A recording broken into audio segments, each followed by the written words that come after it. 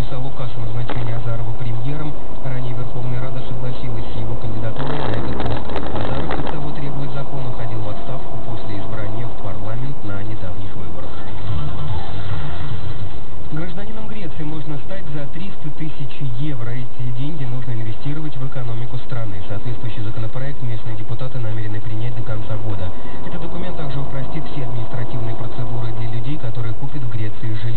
Уточняется, что за крупные инвестиции вид на жительство предоставит иностранцу, его семье и 10 его сотрудникам.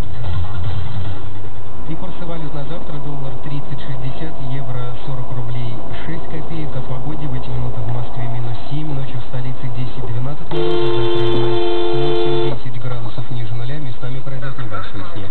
И к этому часу все. Развитие событий в наших следующих выпусках. Сергей Короза, Русская служба новостей. Служба новостей. Русновости.ру 107.0 FM. Все главное. Сегодня. Пиздец, блядь. Отбой. Это не сигнал ко сну. Пришла хорошая новость из Северной Кореи. Известие об успешном запуске